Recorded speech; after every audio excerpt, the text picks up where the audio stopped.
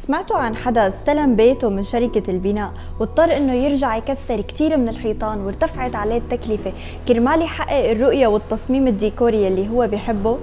طيب سمعتوا عن حدا تأخر كتير باستلام بيته بسبب عدم التنسيق؟ لحتى ما يصير معكم هيك تعوا معي بهي الجولة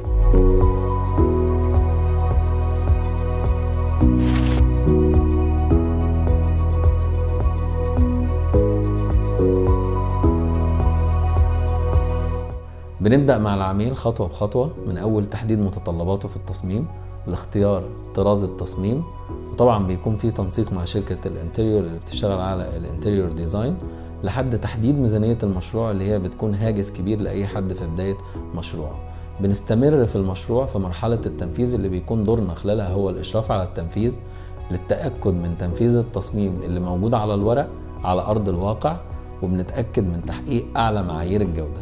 مسؤوليتنا بالكيدرا group مش بس تصميم داخلي وإنما خلق بيئة مناسبة لحتى نطبق نمط الحياة يلي عم بيدور عليها العميل.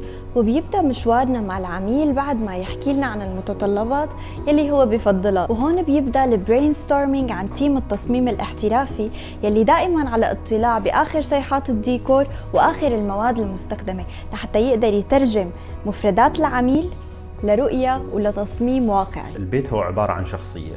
الشخصية هي لها مظهر خارجي ولها مظهر داخلي.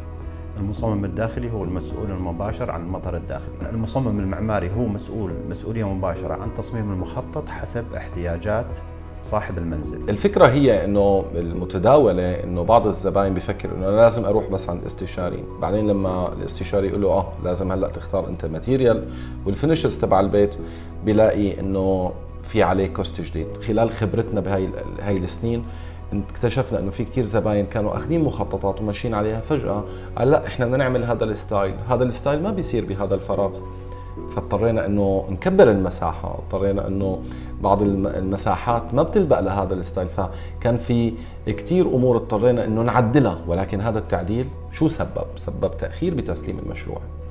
اثنين كوست زيادة على الزبون. ثلاثة الاستشاري وإعادة ترتيب مخططاته ليرجع يقدمها كمان للجهات المختصة. سوء التنسيق بين المصمم المعماري وبين المصمم الداخلي هذا بإيدك وأنت لازم تتخذ الإجراء الصحيح إنك تتواصل مع المصمم الداخلي عشان تتلافى مشاكل كبيرة جدا في المستقبل سواء المشاكل تصميمية سواء المشاكل في التنفيذ سواء تأخير المشروع سواء كلف إضافية نتيجة التعديلات اللي راح يعدلها المصمم الداخلي في حال أنت رحت عليه في وقت متأخر.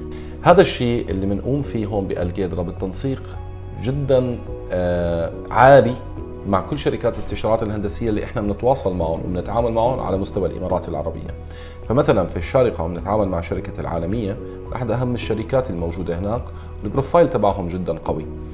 ليش؟ لنسهل عملية تنسيق المشروع من أول يوم سواء شو الزبون حابب الفينشز تكون كيف البيت ومنظره وهذا الشيء لا شك إنه عامل جدا مهم على طريقة وتخطيط البيت. لذلك إحنا نتعامل مع شركة القدرة لأنه لمسنا فيهم الحرص على جميع النقاط اللي ذكرناها بالفيديو. ولديهم فريق تصميم وإشراف صراحة آه، فريق آه، قوي ودقيق في العمل سواء في التصميم والإشراف. طبعا أنا راح أقول لكم شغلة. معرفتي في الأستاذ مهاب أيوب الرئيس لمجموعة القدره والمهندس طارق سكيك معرفة سابقة قبل تأسيسهم للشركة وكانوا من الأشخاص الدقيقين والمتابعين لعملهم بشكل ممتاز جدا. وأنا أتشرف إني أتعامل معاهم دائما لأنهم بالفعل يحققون كل الأشياء اللي ذكرناها من ناحية مصلحة التصميم، من ناحية دقتهم، من ناحية مراجعتهم للمخططات ومتابعتهم للتنفيذ بأنفسهم، لذلك ننصح أي شخص مقدم على البناء أنه يتحرى المصمم المعماري الصحيح وشركة الديكور الداخلية اللي لديها الخبرة واللي تحرص على أنه يطلع لك بيتك بشكل جميل سواء في مرحلة التصميم أو مرحلة التنفيذ. ختاما التنسيق المسبق بين شركة الاستشارات وشركة تصميم الديكور دائما هو كفيل بأنه يرفع ال quality ويختصر زمن ومادة.